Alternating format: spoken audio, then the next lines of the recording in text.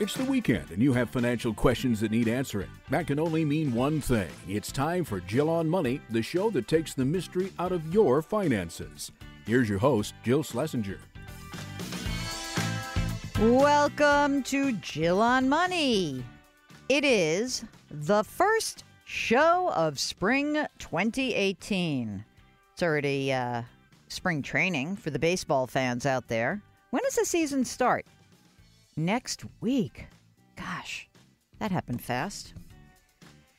Hey, if you've got a financial question, maybe it's uh, something going on around your tax filing, maybe it's something about your investments, give us a call. 855 411 Jill. See how I did that fast? Do you know why? I don't want, really want you to call. I want you to send us an email. I don't know why. The email thing just seems to be a better way to communicate with us.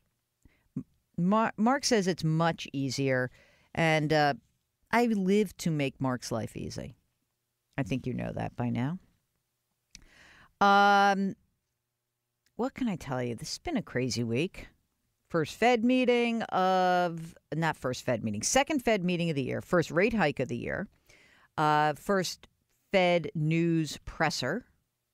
Uh, so Mr. Powell spoke up, spoke out. Um, and, uh, you know, there's just wacky stuff going on at Facebook. Who it, it, it is truly uh, stunning. You know what? I think someone made an excellent point, and that is um, essentially what we don't realize when we start to, um, you know, have the have the conversation around privacy or what these companies have of ours. You might say to yourself, oh, I don't pay for Facebook or Twitter, but you do pay. You pay in your information, your personal information. And I just don't think we, we have we've gotten that in our heads. And I certainly don't think that regulators have done a very good job of helping us make sure that these companies are doing what they're supposed to be doing. So, um, one of our favorite guests uh, from last year was Scott Galloway, who wrote that book, The Four, and he kind of predicted that this was going to be the downs that this would be the potential downside of these dominant big tech companies, regulation. So we'll have to see what emerges. All right. Uh, so let's start the program off with a phone call. It is Deb, who is peppy, peppy, peppy before six o'clock in the morning in Anchorage, Alaska. Hi, Deb. Welcome to Jill on Money. What can I do for you? Good morning, Jill. I don't know about peppy, peppy, peppy, but I do appreciate Mark, and I appreciate you taking my call. Of course. Jill, I have a question about long term care. Okay. I retired after teaching for a good long time, have amazing health care benefits for my husband and myself. And at the time I retired, I elected a long term care policy, which took a good chunk out of my insurance or my uh my um money coming in every month my retirement payment my husband did not choose long term care well now we've had his mother in a long-term care facility for the last couple of years and we've decided that we do not want to burden our kids with that. Mm. So we need something for him. It's too late for us to put him on the policy, my retirement policy. What is your what are your thoughts on what we should do. So let's get a few more details, Deb. So your pension, like that, that is actually coming to you, your net pension, how much is that? Not much. When you say not much, give me the number. Uh, you know, it's pro- it's right under a thousand a month. Okay, so I'll just say a thousand a month. And then, uh, what else are you living on income wise?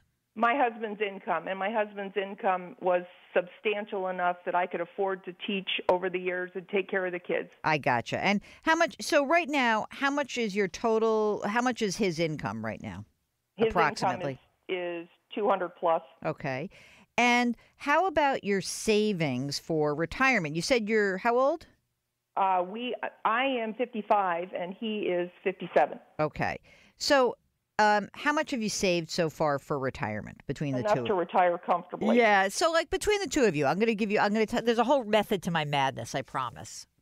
Give me in a ballpark. Do you have a couple million bucks saved? Yep. Good. Perfect. House? Do you own it outright? Yes. Great. Um, and how old are the kids? Kids are in their uh, one's 25, one's 27. Okay. And are they financially okay? No.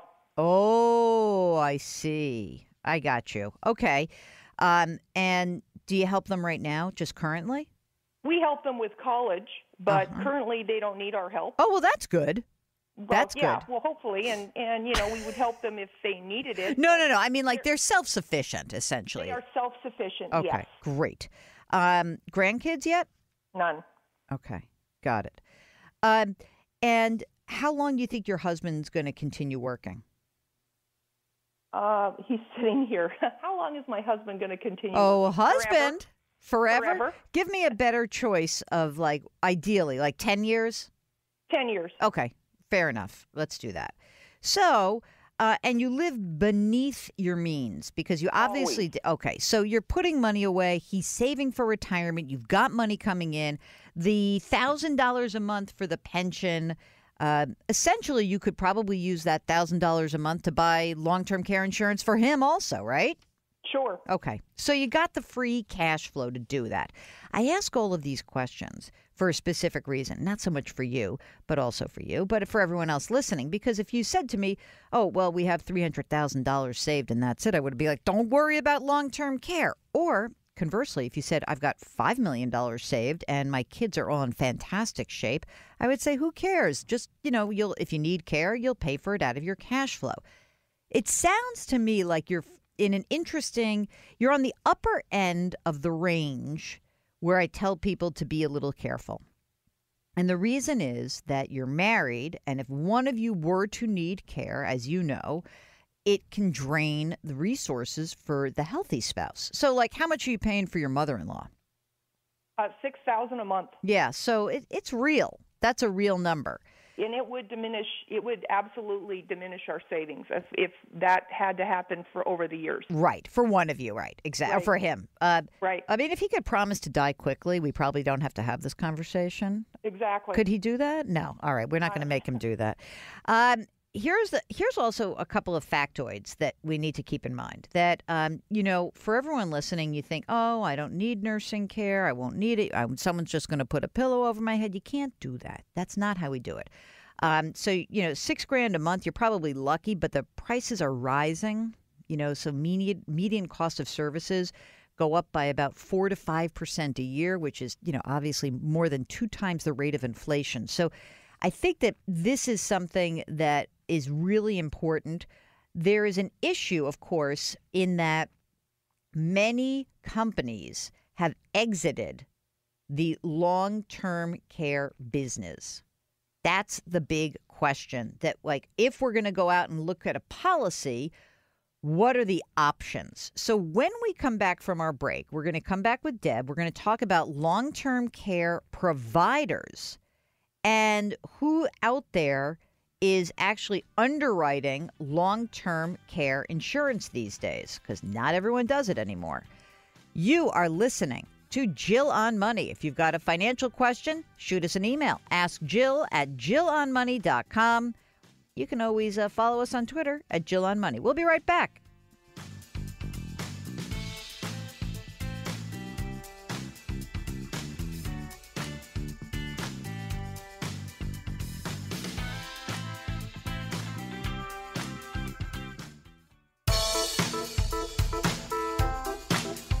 Have a finance question? There are many ways to reach the show. You can call anytime at 855 411 Jill, send an email to askjill at jillonmoney.com, or tweet a question on Twitter using the handle at jillonmoney. Just use the hashtag AskJill. You're back with Jill on Money. If you've got a financial question, we'd love to hear from you. Ask Jill at jillonmoney.com. That is our email address. Before we went to the break, we were talking to Deb from Alaska, and she was calling and asking about long term care insurance. Um, and so, Deb, one of the issues that comes up is that unlike you, who had long term care options through your employer, um, and your husband didn't take it, now all of a sudden you got to go to the private marketplace. So, what, my question to you is Have you done any searches so far? You know, Jill, we have done some, And one of the the questions that we are are coming back to is would a one-time cash payment that's somewhat substantial, right around 86,000 with a death benefit be a wise thing to do because that has a death benefit of 150,000 um, and it has a, a surrender value. Now that would be a big chunk to outgo, mm-hmm. but would it be worth it in the long term? It may be. Um, and, and here's the thing. The, as I said, because there are so few companies actually offering long term care coverage, you have to be very careful. You know, some of the more highly rated ones are, um, at least that I know of, are New York Life. I think they still write. I think Mass Mutual writes new cop policies, Northwestern Mutual, and Genworth, that which was the spinoff out of GE Capital. So those are the ones that do it. I, I guess that the lump sum is a possibility if you had the lump sum available outside of retirement. I wouldn't want you to take a retirement withdrawal, pay tax on it, and use that.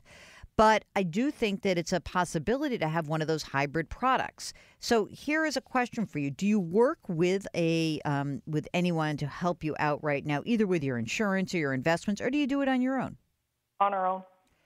I think you may want to go look and talk, or I think it would be worth it to get a fee only opinion on the comparison of one of these hybrid products with a traditional long-term care policy. Because what we really need to find out is that you know because your husband's still pretty young does he have any issues health-wise?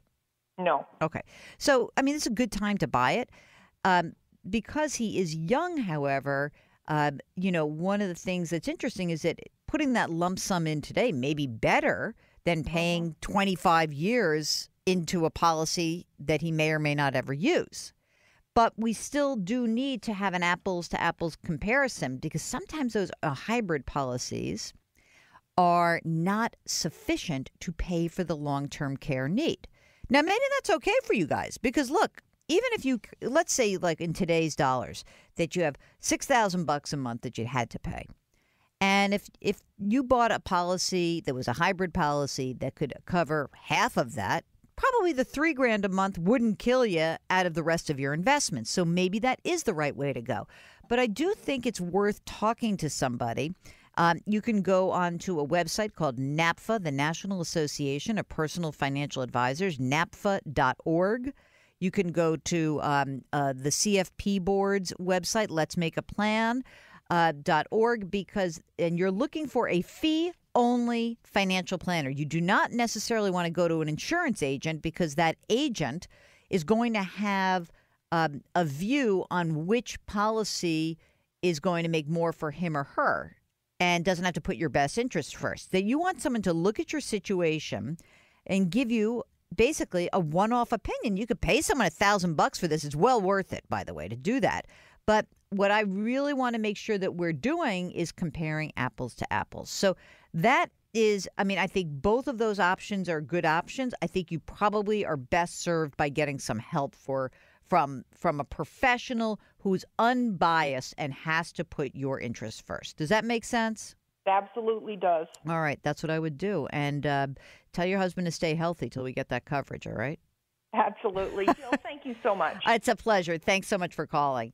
Have a great day. You too. Um, yeah, long term care is really thorny it's tough. And you know the the other really wacky thing about it is that just it's kind of like auto insurance, except it's really more expensive because a lot of times people say, "Oh, I pay all this money for insurance and I don't need it." No one wants to use insurance. That's the problem.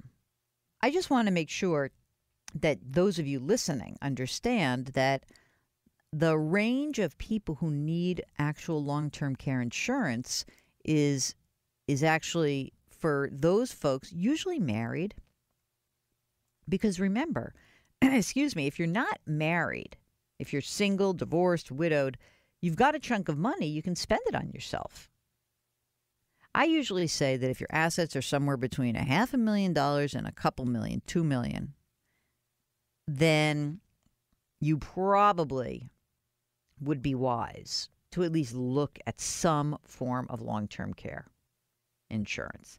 And I think these, I really do believe that these hybrid products are interesting, but they may not cover everything. So it's a little different, but they may cover enough that you just, it, it's fine.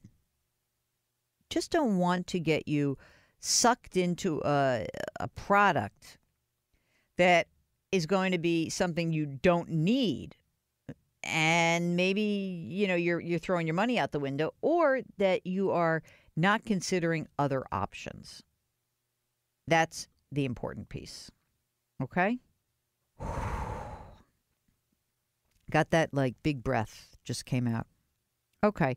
Uh mark what else we got here what do we have got any uh, calls that are queued up or we uh, should i do an email here uh, this is a great question. Someone wrote in and wants to know what is the best way to find a fiduciary? A fiduciary, someone who has to put your best interest first. Now that a court has actually struck down the fiduciary rule that was created by the Department of Labor, you can just ask. Here's the best way to find a fiduciary. You can go to um, the NAPFA, N A P F A, NAPFA, like I just told Deb, napfa.org, because the people who are members of NAPFA, it's a smaller organization.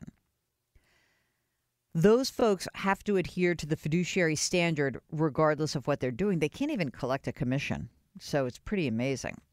Other people who are fiduciaries. Uh, CFPs are fiduciaries when they're doing financial planning advice, but you can also ask them if they are held to the fiduciary standard.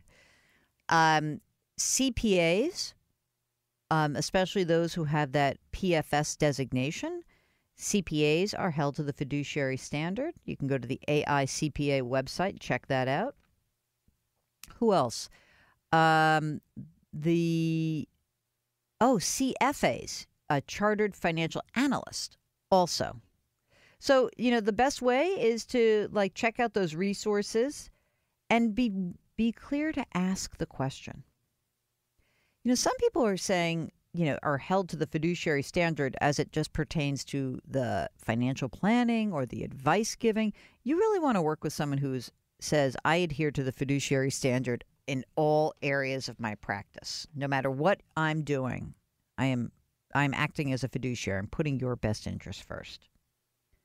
So take that and go forth. I think that's the best thing and the other and the other nine, you know, there are 10 questions to ask a financial advisor. You can go to the JillOnMoney.com website and go to where is where are the resources? Thank you at the resource tab. They used to have our resources buried. I'm, I can't wait to cover all this stuff. Hey, I'm writing a book, everyone. I'm now three quarters of the way done with the manuscript, Mark. Isn't it amazing? I'm basically done. No, I'm not done. I got to finish it coming out. We have a pub date, February 2019. Don't worry, you'll be hearing me talk about it a lot. a lot. All right. Uh, if you've got a financial question, we want to hear from you. And our email address is askjill at jillonmoney.com. Hop onto that website, check out our resource tab, but also, why don't you sign up for our weekly newsletter? You can do that at jillonmoney.com. All right, when we come back, more of your questions. It's Jill on Money. Stay tuned.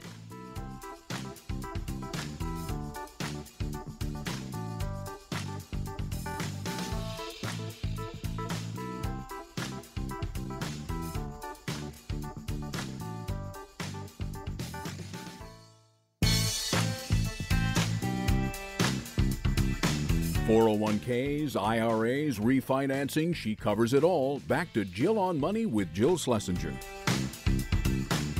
You're back with Jill on Money. If you've got a financial question, we'd love to hear from you.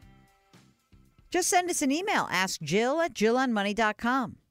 If you missed any of our previous shows, you want to catch up a bit, just hop onto the website, JillOnMoney.com. There's tabs right at the top read, listen, watch. Listen, click on listen. You'll see some of those old shows. You also can see our podcasts. Check it out. While you're on the website, don't forget to subscribe to our newsletter. Love that. Okay, here is an email question from Emily, who will be graduating from the University of Arizona, which means she's what, a wildcat? Mark's a Sun Devil, so he he didn't want me to actually read this. So, but Emily, I fought for you, you Wildcats. Also, University of Arizona is in Tucson, which is way cooler than the Sun Devils, which because you're like outside Phoenix, right? Tempe. I was calling it Tempe for a while. Like, what is Tempe again? It's like a tofu s kind of thing. But anyway, Tempe. Emily will be d- graduating from the University of AZ with a degree in business economics. She's got a job offer to enter uh, a big company financial development program. She'll graduate with about 25 grand in college debt. Not bad. 2 grand in credit card debt. Her salary is going to be da da da 70 G's. How about that? Should I speed up my college debt payments, focus on getting a hard head start on retirement, buying a house? What's your game plan straight out of college look like? Here's your game plan. My game plan was easy. Yours is not as quite as easy, but it's great. Congratulations, first of all, because you've done a terrific job. You've kept the debt low. First priority, pay off the credit card debt. You're going to do that like within a month or two. Second, the money that you have available, you're going to be looking at number one, using your retirement plan because you work for a big company, put into your retirement plan what you can get in a match. It's usually 6%. Everything else goes towards paying down your college debt. So, priority credit card number one. Then at the same time, you're going to put up to six, probably five or 6% in your retirement plan. Everything else you're going to use to pay down your college debt. And then once that's done, you're going to start to put some money into an emergency reserve fund. In fact, I'm going to I'll let me modify that. I think you're going to do three things at once. You're going to split your available cash and you're going to go college debt, retirement planning, emergency reserve fund. Those three things at the same time. So whatever you have available, look at your expenses, comb through everything. And if you have $900 a month, 300 goes towards retirement, 300 goes towards debt pay down, 300 goes into emergency reserves. Do not even think about buying a house. That's your game plan, Emily. Okay? Good luck. Let us know how it goes. Okay, uh, this is from Lan, who loves the show. So thanks so much. And uh, he's like, he likes to hear from callers because he says uh, it it pushes me to save more because I feel like I'm far behind compared to your callers. Uh, anyway, his question about retirement plans. I I said hmm him, and it could be a female. It's a she. It's a him. Okay. So his question is I've read a lot about um, the 401k. Um, I have one through work. I almost max it out. I've recently opened a Roth um, IRA and contribute monthly. My question is should I not max out my 401k? Maybe 80% is enough and put more into the Roth since it's tax free at retirement? Hmm. Well, first of all, if you have a retirement plan through work, that's great. And uh, definitely, I love the Roth. Um, if possible, um, yes, I would like you to f- maybe do a li- do both. So you know, if you're gonna, if there's only so much uh, money available that you can put towards retirement, it would be great to do a little bit of both. So perfect. Um, and um, I wonder if also if you have a Roth 401k through work, that's like the best of all worlds. That would be even better. But if you don't have that, then yeah, some combination works. Another question. Is it true that after five years from the opening of a Roth, I can withdraw the principal without any type of penalty? Should I deposit my savings or part of my savings into the Roth after the five year period to. No. So, yes, it's true you can do that, but don't think about that as your emergency reserve fund, which is exactly what I think you are talking about there. So, um, no, your savings, just keep your savings separate. I think that'll work for you. I love the Roth. I love the Roth. The money has been taxed already.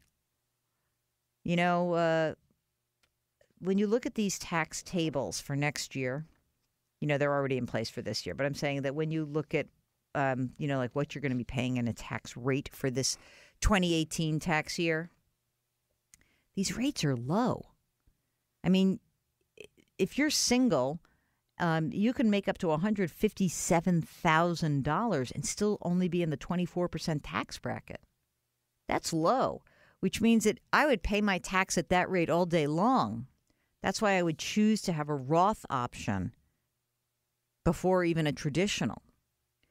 You know, as Ed Slott, the IRA guru, likes to say, tax free is the best possible way to invest. Tax free. And that's what a Roth is it's tax free. And I know that you're you may be worrying like, well, what if my tax bracket goes down when I retire? It might, but it also could go up. One never knows. That's the that's the weird thing about because tax rates are so low, you don't know what's going to happen in the future. Remember when everybody used to say I can I can't lose money on a house because home values don't go down? Sometimes they do. Remember when people would say, um, I can count on 10% return for my stock investments. You probably don't, maybe you don't remember that. I remember that in the 90s. People would always do their retirement planning and they'd assume they were going to earn 10% return for the rest of their lives. Uh uh-uh. uh Things do change. That's why it's nice to know whatever your tax liability is right now. All right, you're listening to Jill on Money, 855 411 Jill. Send an email, ask Jill at JillOnMoney.com. Don't forget to sign up for the newsletter. You can do so on the website, JillOnMoney.com. We'll be right back.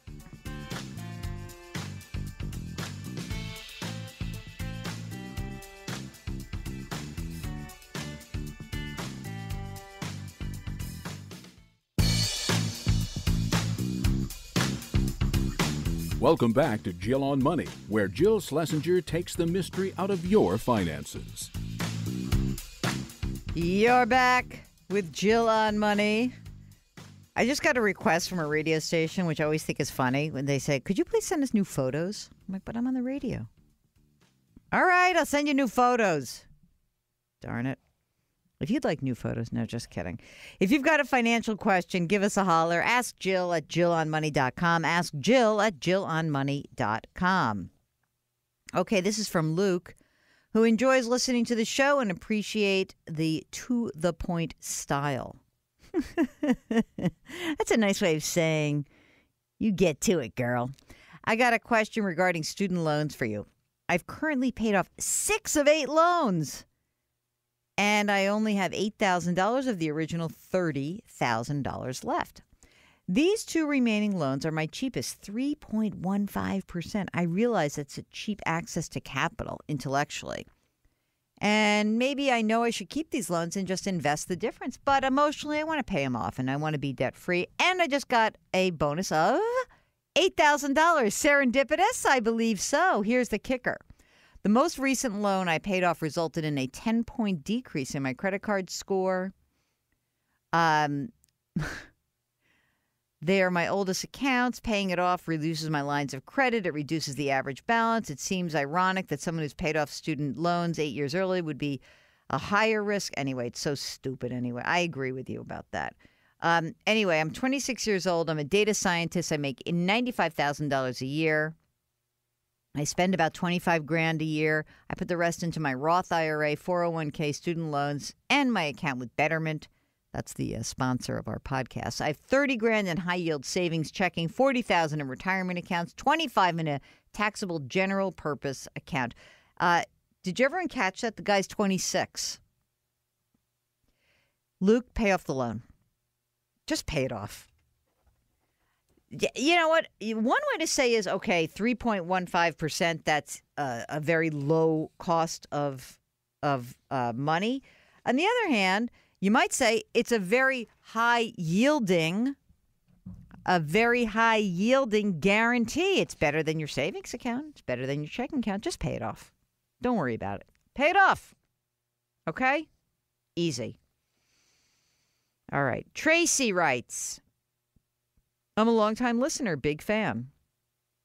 I just heard uh, your latest podcast about uh, military retirement, about the Army endocrinologist getting ready to retire. Mark, we to put that in the show notes so people can hear that.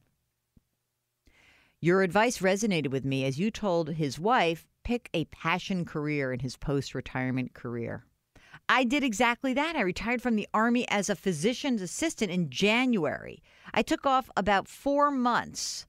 Then I started applying and interviewing for a new life as a civilian PA. I rounded it down to two jobs. First was a well established family medicine group.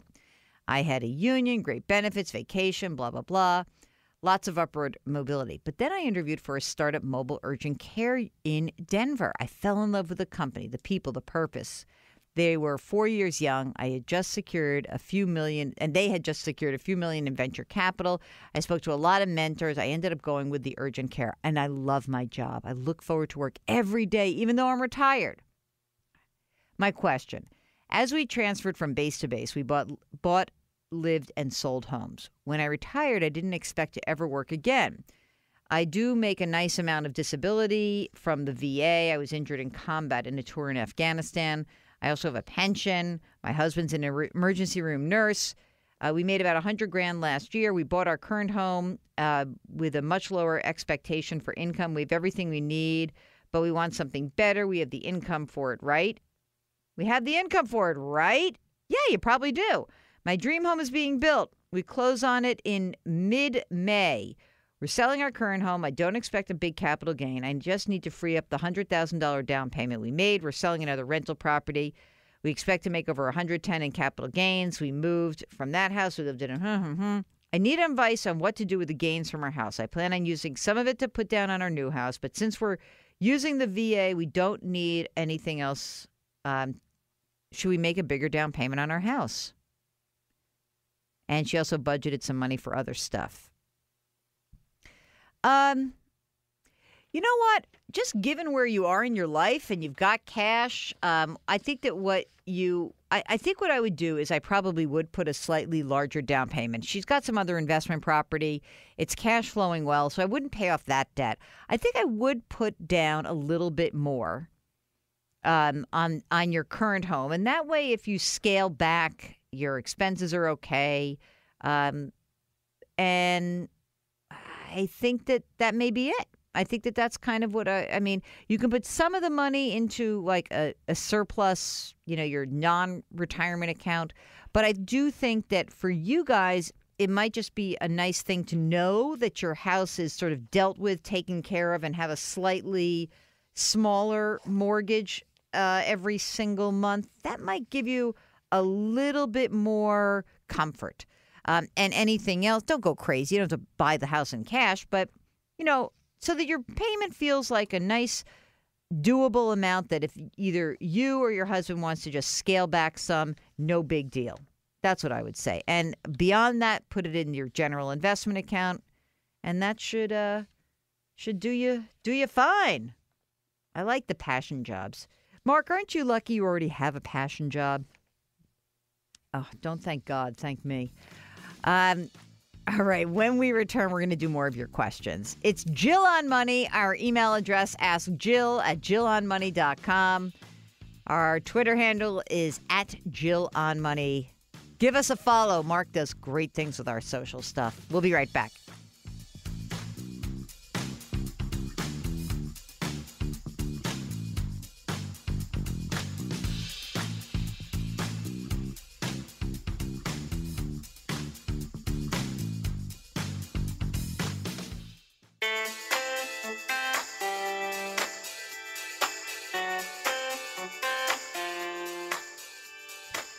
You're back with Jill on Money. Mark's waiting for me to pick my eyes up and get my cue, and I didn't. If you've got a financial question, we would love to hear from you. Our uh, email address is askjill at jillonmoney.com. That's askjill at jillonmoney.com. Brad wants to know why the wealthy have just one tax bracket above five to six hundred thousand dollars uh, and the poor and middle class have six. I don't know. I, he, this guy sent this question a million times. I don't know.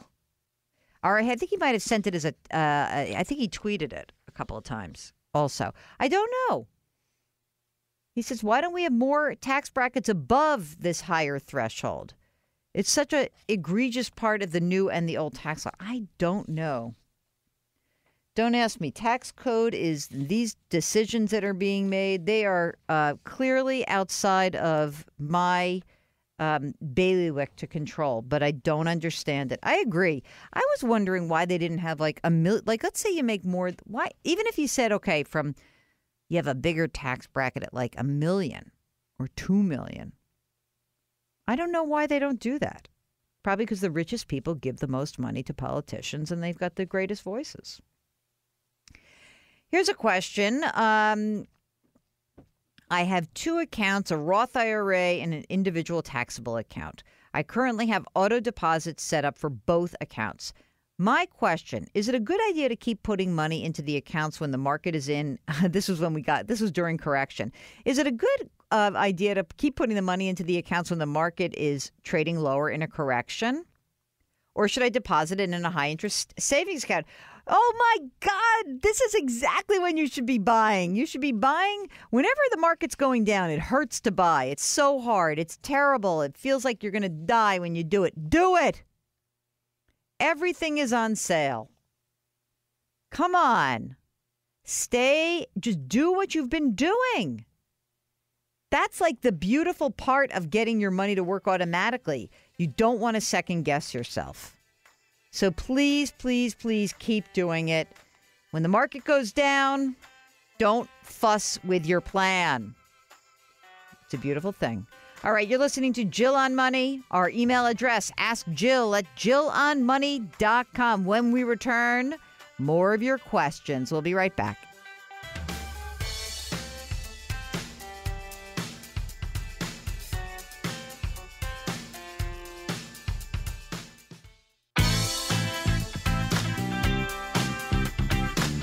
It's the weekend, and that can only mean one thing. You're listening to Jill on Money, the show that takes the mystery out of your finances.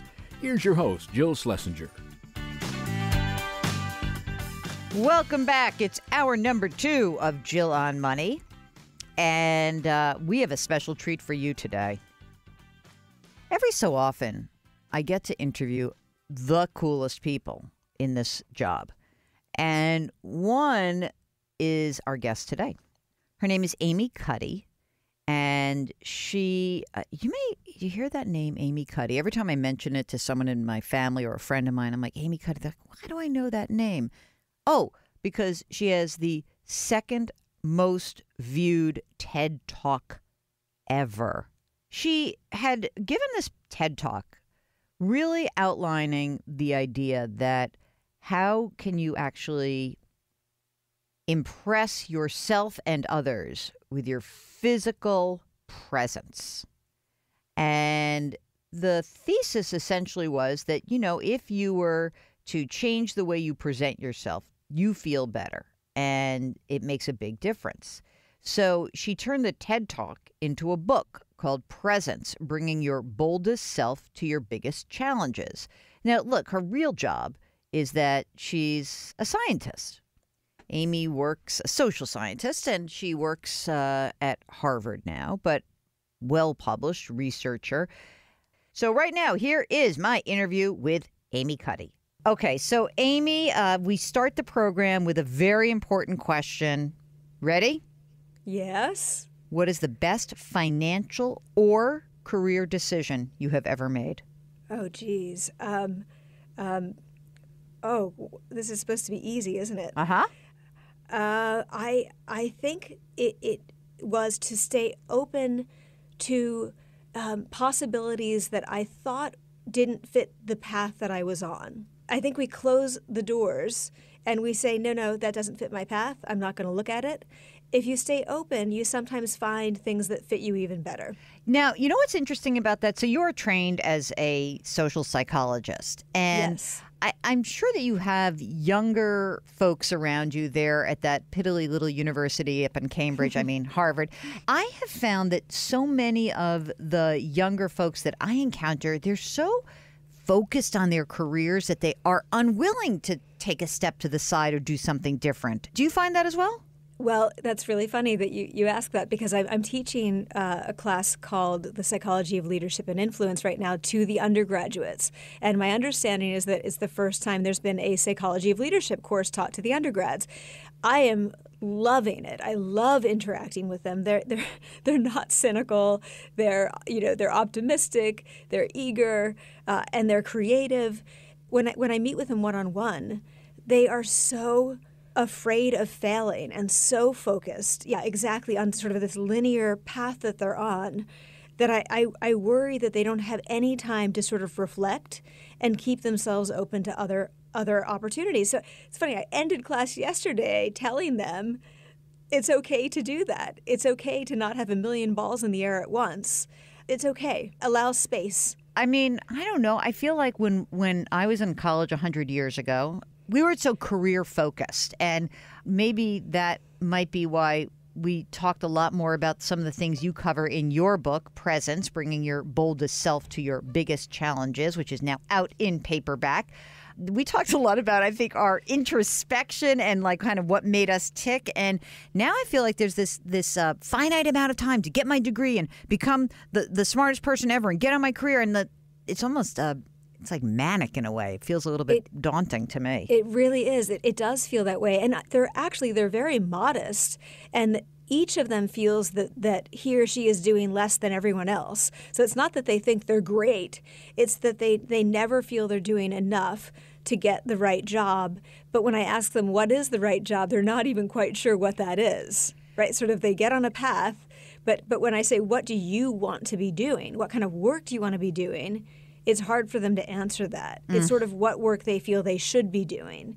Uh, and I, I, think you're right about the conversations. It's funny. I, I my husband's Australian, and th- there's this there's this term in Australia, uh, D&M, and it means deep and meaningful. And it's the kind of conversation that you have in your dorm room in the middle of the night with your friends. You know, those those sort of thinking about the world, kinds of uh, introspective um, conversations. And I don't know if students have the time to do that these days. All right, so. You wrote this book after you have given your famous TED Talk, which is I guess for a while was the most watched TED Talk. Now it's the second, so I think you got to bump off whoever's number one. So that's. I, I think good. it. I think it bumped up. So I have never been number one, and I'm, oh. I'm, very happy to be number two because I have such incredible admiration for for Ken Robinson, Sir Ken Robinson, who's number one. I All right. talk. So you gave this talk at TED Global in 2012, and it was essentially about the correlation between how um, one's confidence can improve and your anxiety can decrease when you are able to kind of get control over your body and construct this thing called the power pose.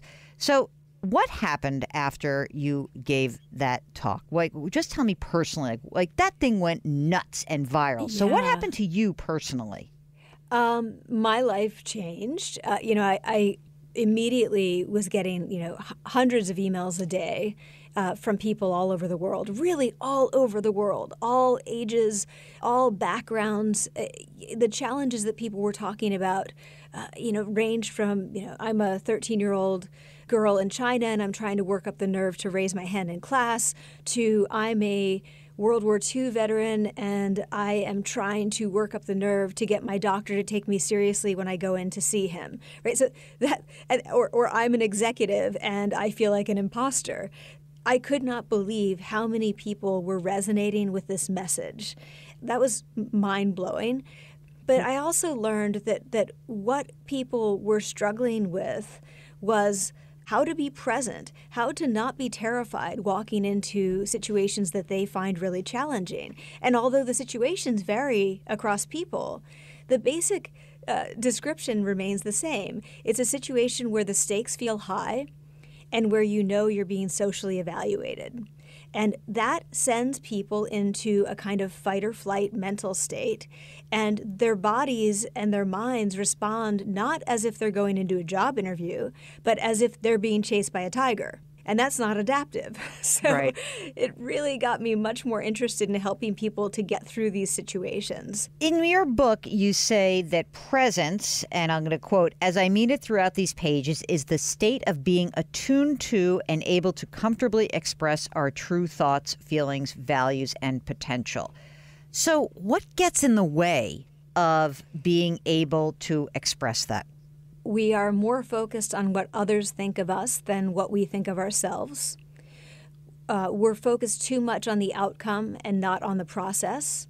And we feel powerless and we consent to that feeling of powerlessness. And that, that's very dangerous. So I think those three things make it very difficult for us to be uh, courageous and authentic and present and connected in those moments. We'll get back to our interview with Amy Cuddy in just a minute. However, during the break, why don't you go check out the website, jillonmoney.com. And while you're there, you can subscribe to the newsletter. Mark is curating stuff all week long and sends it out every Friday. So hop on to jillonmoney.com and subscribe to the newsletter. We'll be right back.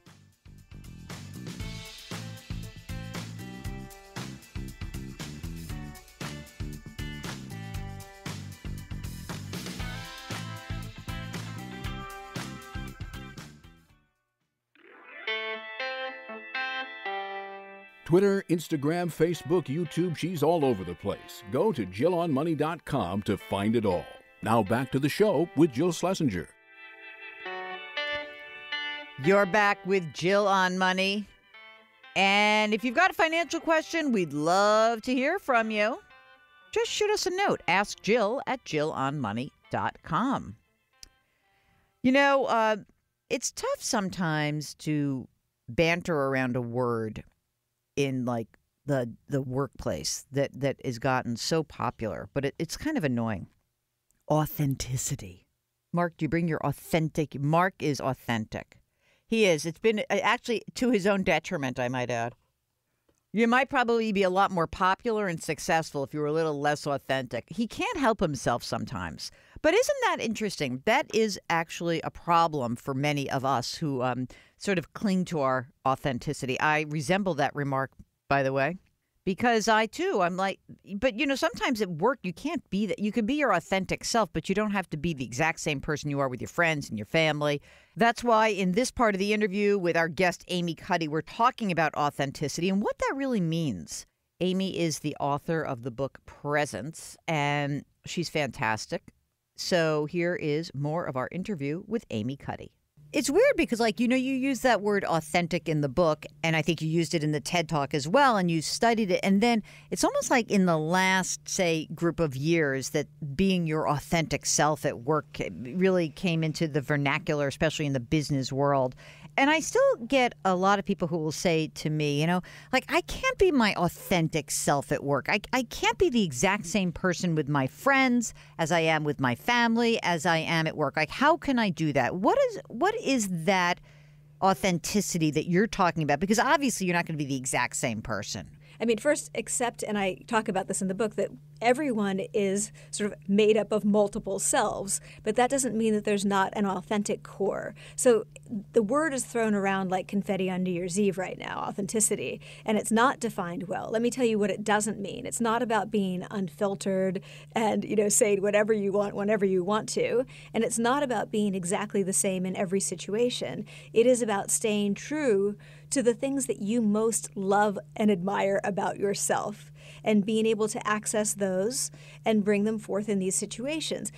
That also involves really deeply listening to the people that you're interacting with and you know adjusting in order to to make sure that they feel heard as well. You are not being um, disloyal to your authentic self by doing that. So I think that people get confused. They think that authentic means unfiltered and that you are going to behave exactly the same way in every situation. And that's not the case, but it's also not inauthentic, you know, to adjust to the situation that you're in. All right, so we all agree we got to be our authentic selves and we have to kind of find our presence. I was really compelled by this idea around warmth and competence. Yes. Um, that just jumped out at me because you're talking about a study with by um, Oscar Ybarra and mm-hmm. uh, found that people process words related to warmth and morality, friendly, honest, and others, faster than words related to competence, creative, skillful, in other words, like that. Can you talk a little bit about that warmth and competence yes. uh, yeah. breakdown there? Yeah, so it's funny because that's actually my primary area of research. So I've been studying judgments of warmth and competence for since 1998.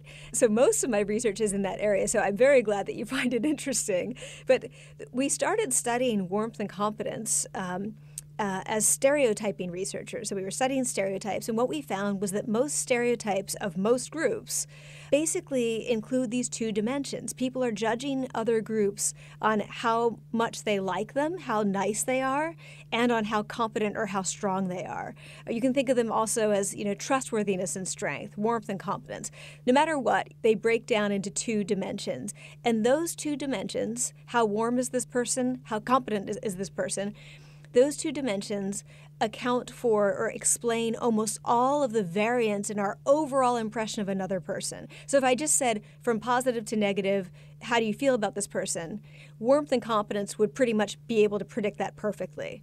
Which means those are the two dimensions along which we're judging people because they answer two important questions about strangers. Do I trust them? You know, what are their intentions toward me? And are they capable of enacting those intentions? So, are they warm? Are they competent? So, that's where these two dimensions come from. The funny thing, though, is that people get them wrong when they are thinking about the impression they make on others. So, everyone wants to be seen as competent, but they want other people to be warm. Huh. Because trust is much more important than competence. You know, if you're thinking about uh, an, an interaction, if you're thinking about this from a very primitive perspective, how safe is this person? It matters more how trustworthy they are than how competent they are.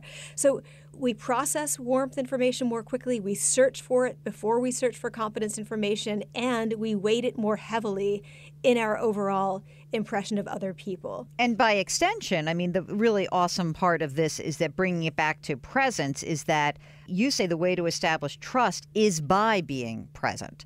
So that's kind of fascinating as well because it sort of brings it full circle that if you are present, if you kind of know yourself, if you're authentic, if you're listening well, then someone's going to feel that. There's going to be warmth. There's going to then be like this feeling of like okay a trustworthiness. I guess i'm wondering like physiologically once you've established that then does like the brain process the competence piece or is it all happening simultaneously not exactly simultaneously, but we're talking about milliseconds uh, in terms of first impressions. So people are making that warmth impression first, but you know it's within a matter of seconds. They're making impressions based on things like facial features, which is not fair and not accurate, but nonetheless we do that.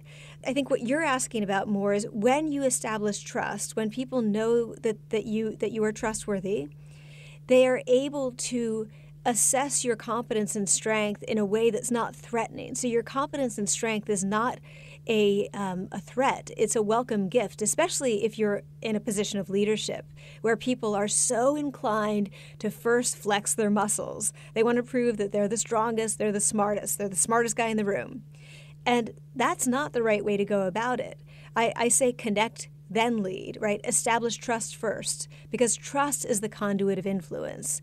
People want a leader who they can trust, and then they know that that strength that that leader has serves them, not just the leader, him or herself. It's it's really it's very interesting because you know I know you're dealing with it in leadership. I'm just thinking about it because uh, you know look I'm somebody who's on TV and radio, so I'm thinking about it always is peculiar who an audience is going to be able to key into as relatable, right?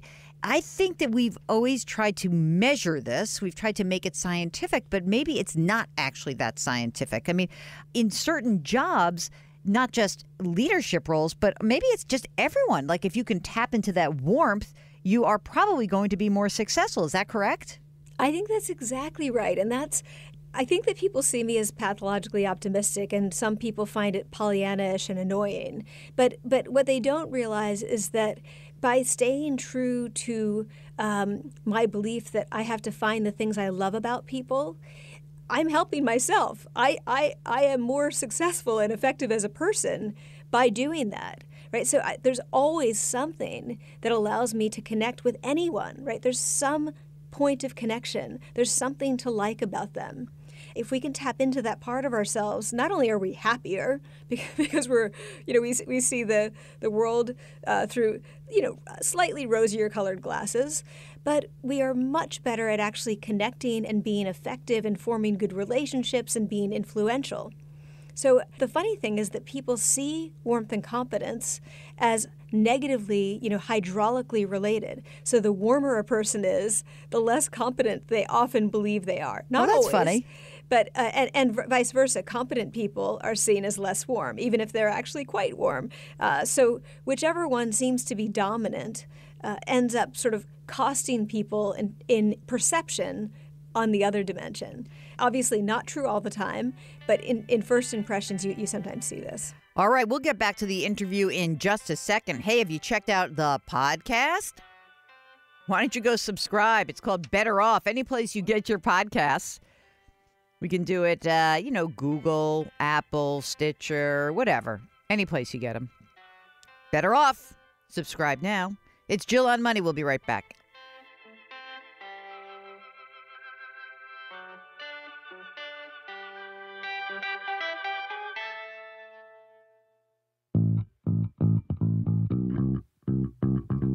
You're back with Jill on Money. This is the program that takes the mystery out of your financial life, your work life, and your whole life. That's why we've got a great guest today, Amy Cuddy. She is the author of the book Presence. And now we're getting into the meat of it. Here is what the power pose is all about. Okay, so let's get into some of like how did the whole power pose thing evolve? Like how did you start mm-hmm. like you started studying, you know, warmth and uh, trustworthiness and competence. And then, so when did the whole power posing part of your career emerge? Uh, there were a couple of things that happened. I mean, I, I, I, as I said, I'd been studying, you know, judgments of others, and really, I'd been studying stereotyping and prejudice for years. And I'm, I've always been very interested in helping people who are disempowered to become empowered. In the Harvard Business School classroom, I was noticing that the women were participating it seemed to me significantly less than the men were participating. And when they participated, they did so in this sort of apologetic way, right? So they would raise their hand by kind of cradling their elbow in the opposite hand. I call it the apologetic hand raise. Yeah. And they would truncate their comments so they'd rush through what they wanted to say. When I meet with them one on one outside of class, they're they're friggin' brilliant, right? Hmm.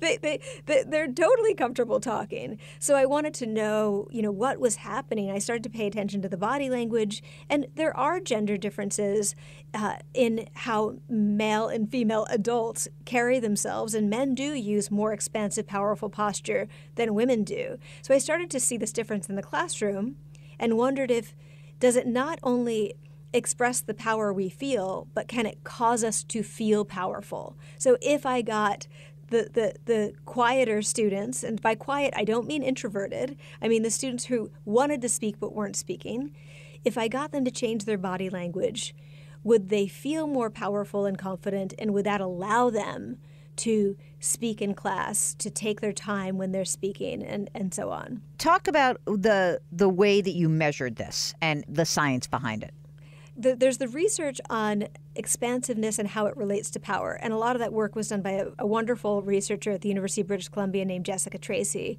who also has a great book called Pride. And what she found was that around the world, everywhere that she went, people expressed power through expansiveness. So they expand, they make themselves big. That's true for humans and it's true for non humans power is expressed through expansiveness. So that had been established in the, you know, the, the, I would say the 10 years before we started doing this work. The other thing that had been established was that our facial expressions don't just express emotion, they also cause emotion. So if you want to feel happier, smiling can help you to feel happier. So it works in both directions. So the, what, what we were trying to put together were, were these different pieces Power is linked to expansiveness. That's universal. It seems to be hardwired. Changing your facial expression changes the way you feel. So, can change changing your posture also change the way you feel? So, in our studies, we had people adopt expansive or contractive postures. They were randomly assigned to one condition or the other. They held those postures for between 30 seconds and five minutes, depending on the study. And we measured how powerful they felt after doing this. In most of the studies, they didn't know what the hypothesis, hypothesis was, so they were not. Um, they were not telling us what we wanted to hear. What we found was that people felt more confident and more powerful and more in charge after adopting an expansive posture than after adopting a contractive posture. And now, to, to imagine these postures, let's take two simple examples. An expansive posture would be standing with your hands on your hips and your feet apart and your shoulders back. Right. A contractive posture would be standing with your sort of your ankles wrapped and your arms maybe wrapped around your waist or you know touching your neck or your face with your shoulders hunched forward. That's the kind of posture that we're talking about. Just adjusting that for a couple of minutes before going into a stressful situation changed people's feelings of power. And since you did the TED Talk, the, I have to ask you about this whole rigmarole around challenging some of the studies that you had done. Um, many other social science and social psychologists came under siege with the sort of a reform movement around the methodologies behind it. What is different than what you first thought since that whole Yeah. thing evolved? Yeah, so there has been a sort of uh methods revolution in my field in the last five years, I would say. So it, you know, it was it was it kind of picked up about the year after my TED talk, where the methods that social psychologists have been using for literally decades, for 50 years. Um, were being challenged by other psychologists who were saying we need bigger sample sizes. For example, you know this is not the 50 people that that's not enough people to have in a study. We need 200 people, for example. Almost all of social psychology, existing social psychology was challenged, and this sort of replication movement began where people tried to replicate old studies. And so our studies were among those. What we are seeing is that the effect on feelings of power has now replicated 17 times in 17 independent studies. So that is what I would call a real and robust effect. Uh, it do- doesn't matter if you're in the US or another country, it doesn't matter if you have uh, men or women. When people adopt expansive postures, on average, they're likely to feel more powerful and more confident. And the psychology of power and confidence um, leads to a whole sort of downstream series of, of, of changes. The finding that does not seem to hold up is the effect on hormonal changes. So we had found very clearly that adopting expansive postures led to an increase in testosterone, in circulating levels of testosterone, and a decrease in circulating levels of cortisol. Those findings, there have been several attempted replications. In most of those, you don't get all of the effects. If the hormonal effects don't hold up, who cares? If you feel more powerful, isn't that really the essence of it? It's like saying, oh, we gave this person, you know, a sugar pill and she felt better. Well, I care that she feels better, right? Right. Yeah, yeah, absolutely. And to me, the the most important variable always was how people feel. I mean, that's what you're ultimately trying to change. That's the bread and butter of psychology, right? Is to change how people feel. Um, and I should say, and, and I, I, I don't mean to sound defensive about this at all, but science should evolve, and and people should not be afraid to put out what they know at the time, right? And and to be open to the the possibility that some of that will be right and some of that will be wrong. So I and I say I say that because I just think it's so important for people, for young scientists, not to be afraid to share their science and to know that it will evolve and that's okay. All right, more of our interview with Amy Cuddy when we return. If you've got a financial question, we'd love to hear from you. Our email address is askjill at jillonmoney.com. If you want to go to the website, jillonmoney.com, you can listen to past shows or any part of this one if you've missed it. jillonmoney.com. We'll be right back.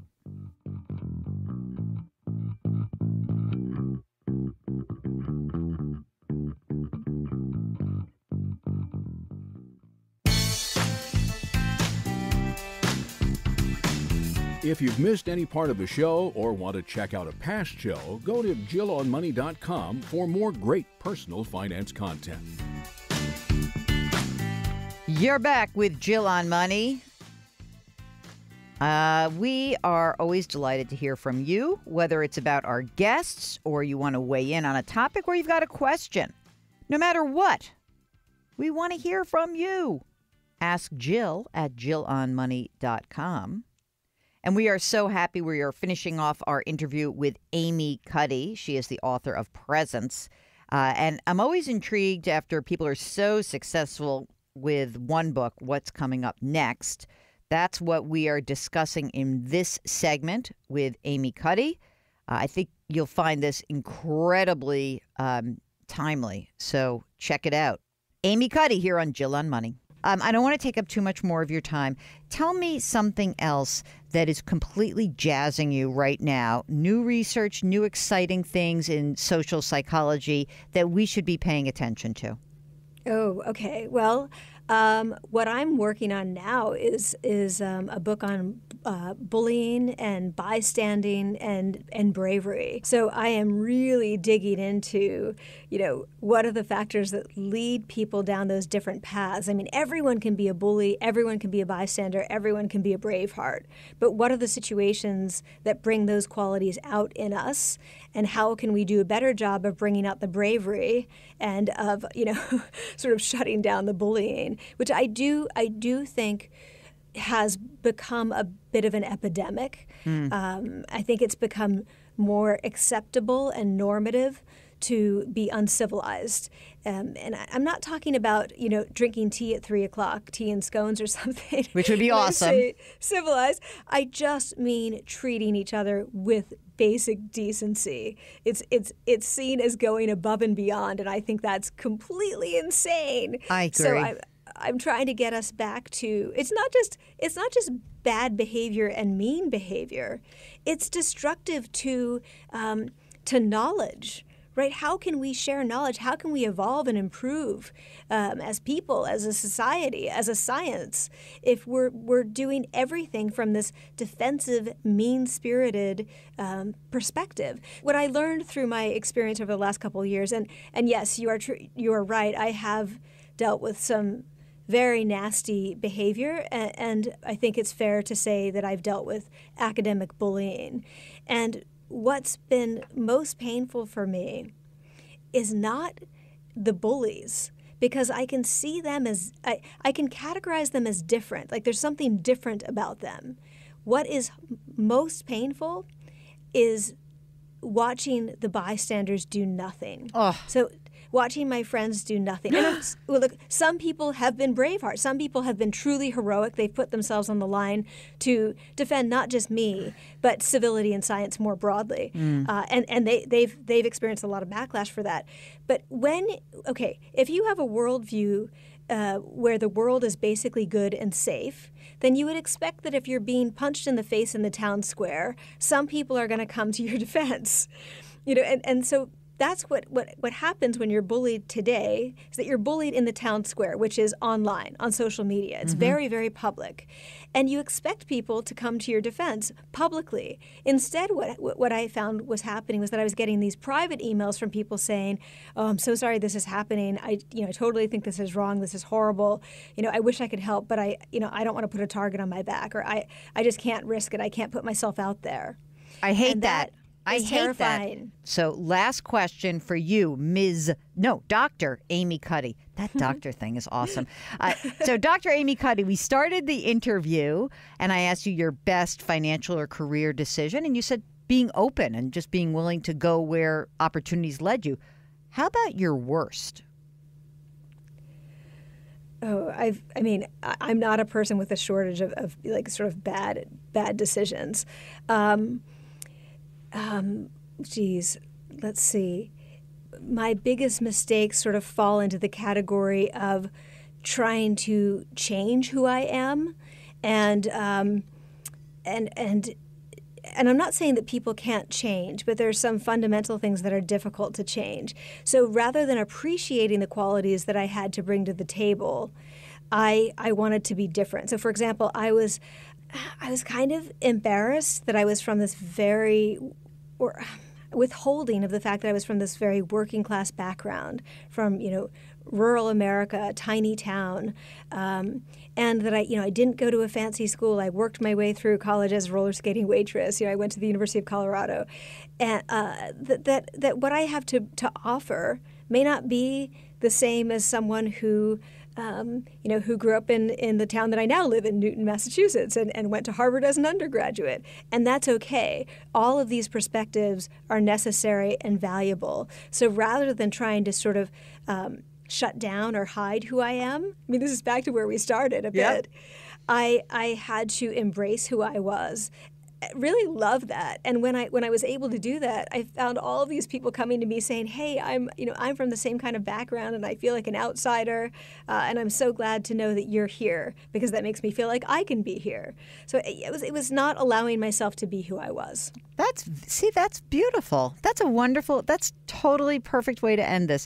Thank you so much, Amy. It has been such a privilege, and I hope this was a interview that was slightly different than some of the others. it was great Well, thank you so much to Amy Cuddy. Uh, if you missed any part of the interview, go to JillOnMoney.com or maybe wait till the end of the weekend. Go to the show notes. You can also buy Amy's book. We'll have a link to that. It's called Presence, and it's really well done. So check it out. Amy Cuddy here on the Jill on Money Show. Before we close out the show, one more question from you guys. We'll be right back.